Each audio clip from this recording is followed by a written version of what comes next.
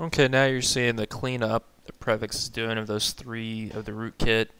Um, saying that we got to do a reboot here, but it went ahead and cleaned off the rootkit, cleaned off the registry entry, and uh, cleaned out the registry uh, infection, uh, which will cause the machine to run more stable once it's removed and cleaned up. Okay, we're starting back up after the Prevx clean. Everything is uh, loading up.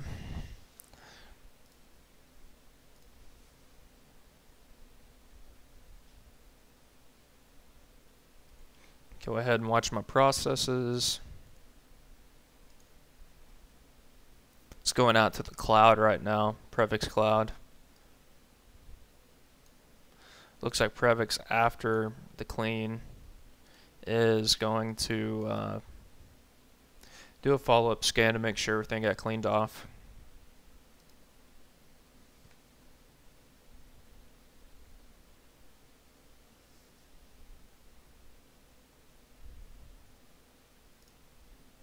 We're back and uh, Prevx didn't find anything so you've seen examples of all three products showing their use when dealing with attacks.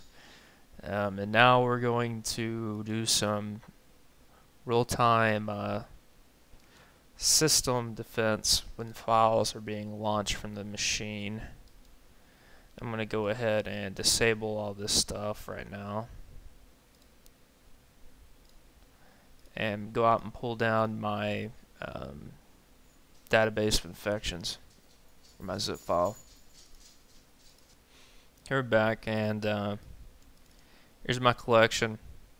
Um, I've just my recent collection. This doesn't have all my old variants from months past that I've collected. Um, but we got uh, QHost in here. We got uh, bunch of fake antiviruses. We got uh, Zeus variants, different Zeus variant builds over the past uh, weeks. They come out, uh, you know, a couple different updates every day to bypass uh, uh, AV signatures. They try to stay ahead of the signatures coming in, which is uh, really good. Why we why I have Prevx on the machine right now and a firewall to help ESET out. Anyhow, I'm going to copy these variants onto the desktop.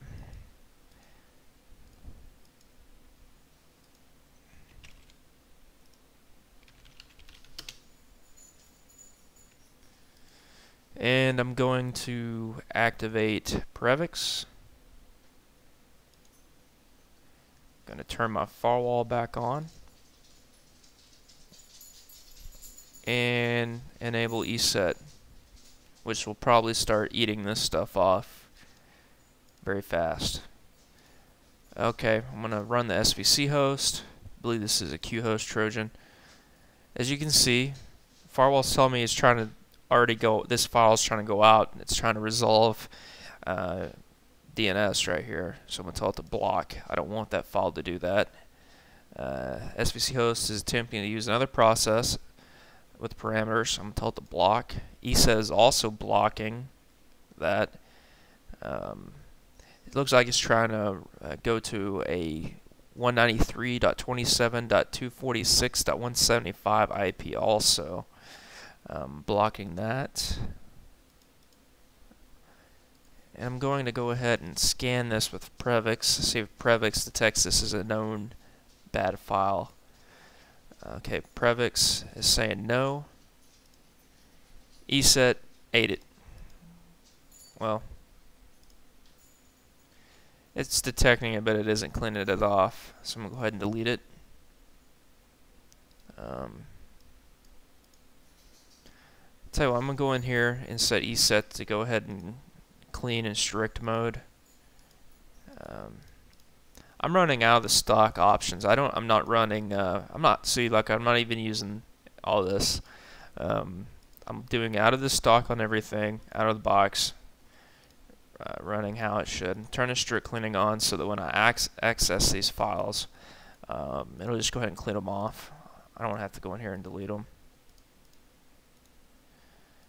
Test one. Um, I just highlighted it and you said ate it. That's pretty funny. TP. Don't know what all these are, but it's a looks like Let's see if TP actually ran. Not getting any kind of, uh, yeah, TP is running. Not really getting, let's see if we can see any kind of activity. Outgoing activity. It's not showing up as a, as a app. Let's go and uh, take a look at activity here. All applications appears that TP, the file right here, quickly turned itself off after running. ESET actually detects it as a threat but allowed it to run. Prevx is not detecting it as anything. Let me run it again.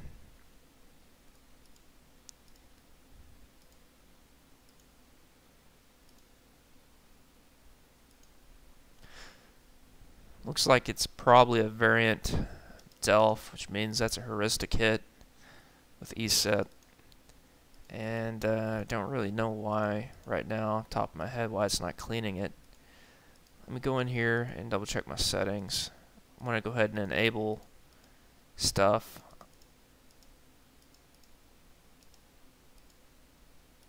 Let's see now if it goes ahead and cleans it.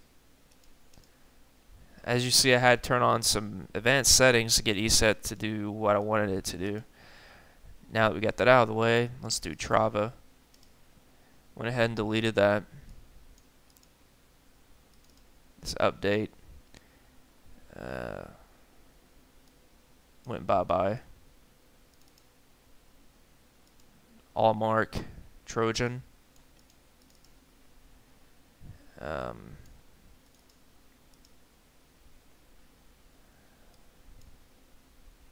As you can see, Cryptic, as you can see, I got a ton of different variants out there, uh, tons of Trojans.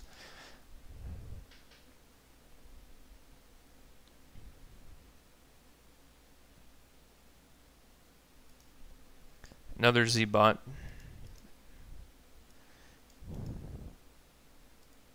Let's check our processes here. See if we got any crazy stuff running in the background. Appears not right now. Appears to be clean.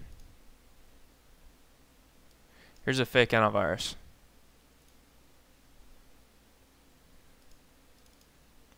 Fake antivirus died. Here's a safe fighter. Fake antivirus. Another one.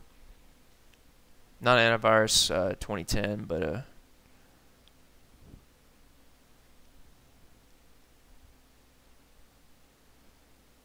appears that it was also deleted.